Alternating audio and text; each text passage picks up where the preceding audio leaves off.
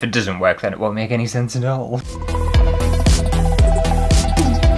Hello everyone and welcome back to my channel. Now a little while ago I saw online and I can't remember where I saw it or who I saw it from but they were carving rubbers or some people call them erasers and creating little prints with them and I thought it looked like such a fun little idea and I remember when I was at school I used to always have a rubber and you would like stab it and poke holes in it and stuff but I never thought of printing with it. I thought that's a genius idea and I want to give it a go today so that's what we're going to be doing. Okay, so I've got some little rubbers here, which will be perfect. I also bought a big bag of stamping inks. And then I have this little tool that I got. Can you remember when I tried out that lino printing kit?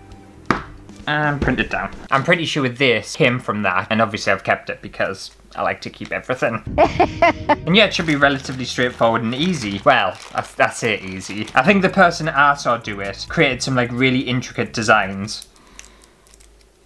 Do you think I can create intricate designs? I don't think I can, but we'll see what I can do. Right, so I've got an eraser here, and I'm going to need a very, very thin little nib. Let's see if this has got a thin one.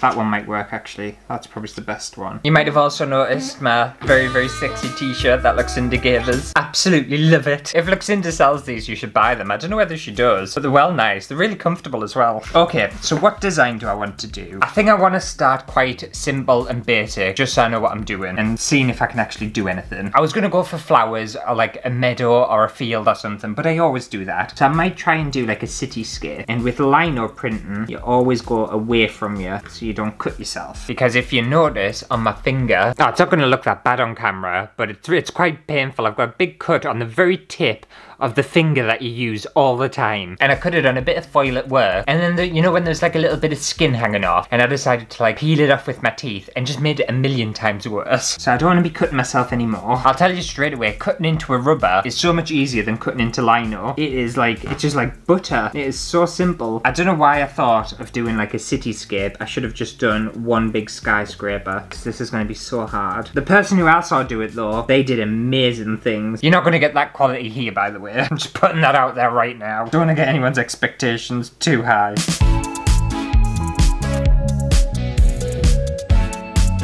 This is a million times easier than doing lino printing. Well, lino cutting. I don't know about the printing aspect of it yet, but... Because I always find lino printing, actually cutting into the lino, it's really, really hard. Okay, so I've done like a very, very basic little cityscape, but that looks quite cool, doesn't it? I hope it prints out quite nice, because it has taken me about 10 minutes to do. Right, let's have a look at these. I think I just want to go for a black. Okay, so then we just dip our rubber into the ink, get it nice and covered, perfect, and then, fingers crossed, this is gonna work. Ah, ah, that looks so cool. Ah, I've done really well. I'm surprised. I thought I was going to do shit. And the best thing about this is you can kind of do multiple stamps and you just get different kind of effects because the ink wears off. Oh, I'm proper chuffed. Ah, look at these. I'm so pleased with myself. I think you need to calm down. How nice are they? Obviously that was my first one, that's the darkest one. But how cool do they look? I think that actually does look like a little cityscape and you can see it obviously getting more and more transparent. Proper pleased with myself. I don't know whether you can tell. You need to stop it! Right, I want to do another one. That was so, so easy, by the way. If you've ever wanted to do lino printing and you've always kind of thought it looked quite stressful or a bit difficult, start with a little pack of rubbers. So cheap, so inexpensive just slung one across the studio. Get yourself some little stamping ink, cost you a few quid, and then just go crazy. I think this would be quite good as well for people who scrapbook to make like little symbols. You could even do repeated designs and decorate a page or something. Right, what design do I want to do next? So I obviously can't do a video like this without doing something very simple. So I'm going to try and do like a little plan. And when I say simple, it's going to be very simple. But I'm going to try and do some curves. And curves are a lot harder to do than straight lines, so wish me luck. In fact, I'm going to do kind of like a vine rather than a flower. Okay, that wasn't too bad. You know what, I'm not just saying this, I think I've found something I'm really good at. Well, it's about fucking time. I know, shocking, I know, very, very shocking, but I think I'm actually quite good at this. I'm not a complete useless waste of space, I'm talented. I haven't even stamped this one yet, and I think this one's gonna look really good. I am wondering when to stop, though. So there we go, like a nice little vine. How cool is that? I think that looks really good, actually. And I think we'll obviously stamp this one in green. The only thing I sometimes struggle with when stamping is a steady hand. Because if you knock this and you screw the entire thing over, you have to be very, very kind of still. Ah, Oh, yeah. Oh, that one's worked so well. Look how cool that is. So all the way from dark and then just getting more and more subtle as it goes along and fades. And I think that looks like a vine. It's just a nice little pattern, isn't it? Oh, so talented. Right, I want to do another one. I'm actually really enjoying this. It makes a change because I do usually like to complain about everything. And on the subject of change as well, I've got some kind of not really life-changing news, but I've got some news. And at the time of recording it's Saturday, then I'm at work on Monday, then that's my final shift at my job, and I start a completely new job. I've actually been keeping, well I haven't been keeping it a secret, but I've been keeping it to myself. Mainly because I know what my life's like. And it's kind of a weird thing to say, but if I put something out into the universe, the universe has a habit of coming back and like slapping us.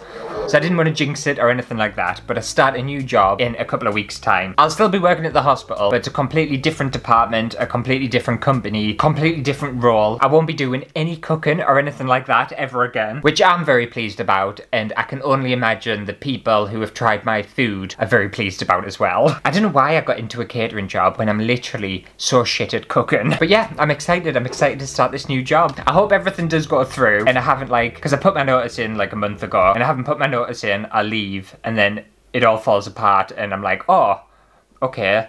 I'm jobless. I have a habit in my mind of going to the worst case scenario. I can never celebrate something until I'm fully aware and know for sure that it's an actual thing. I don't know whether anyone else is like that. I just, I don't like to celebrate things too soon because just shit happens all the time. Just something crap will always happen. So I like to wait till the very, very not even last second till way after the last second until I can finally celebrate something good that's happened in my life. I don't know whether that's a sad thing. I think it's just a cautious thing. It's a cautious attitude to have. That's what I have. And hopefully I like this new job. I have met a good chunk of the people that I'm going to be working with and stuff and they all seem really, really lovely. They seem so friendly. So that's it's a nice change. No, the, the, some of the people I work with at the moment are really lovely as well. I don't want to slag everyone off. There's only a couple that I don't like. So yes, exciting times. I'll actually be working less days than I'm working now. So I'll only be working three days a week instead of five days a week, but I'll be working more hours than I work now. So I'll be doing some long, long ass shifts. Like the three days that I am at work, I'm basically there all day. So by the time this video comes out, I might have started that job. So if I'm a bit delayed or a bit kind of behind on getting back to comments and messages and stuff, that's why. It's because I'm at work. Okay, let's start this with a print. I don't know what I want to do now. I've done vines, I've done cityscapes. What's, what's left? That's it. Okay, so for this one, I might just try and do like an abstract pattern. But when it comes to the stamping technique, I might try and do like a two or three toned print, if that makes sense. It'll make sense when I get to it, if it works. And if it doesn't work, then it won't make any sense at all. This is going to be a very basic design, but I just want to show everyone the possibilities and inspire as many people as I can.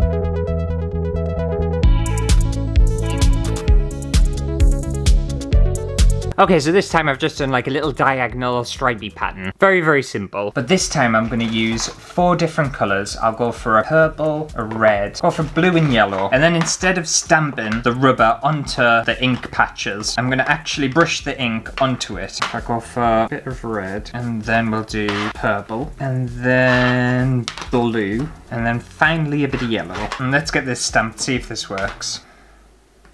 Oh, that's so cool. So there we have it, like a nice little multicolored stripe design, which you could obviously do loads more with it, but I, I, think that's a fun little pattern, isn't it? And the best thing with something like this is obviously if you create a cool little design or a design you absolutely love, you can easily just wash all the ink off and then do a different color and do like crazy repeat patterns. You can do so much with it. I've, I've done the very, very basic today and uh, just excelled at it. You're so hot and you're so talented. I just I had absolutely no idea I was I was going to be so good at this. I thought I was going to be absolutely shite. Well, I think that just about does it for today's little video of stamp making. Hopefully you have enjoyed it. If you did, make sure to give it a thumbs up and let me know if this is something that you're willing to try. I think a lot of my viewers would actually really enjoy this. I think especially again if you're into scrapbooking or like junk journals and stuff, you could add some just nice little just decorative touches to pages and stuff. Really cost cost effective too. Such a cheap little idea. And if you come across any little crafty things that you want me to try on the channel, feel free to leave your suggestions in the comments below. It takes me forever to get round to them. It takes me so long, but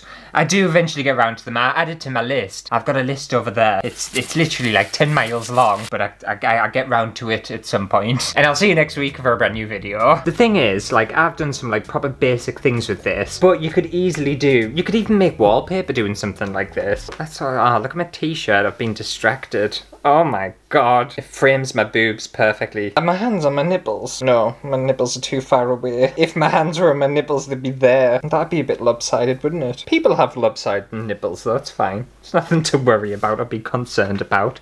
Nipples are nipples.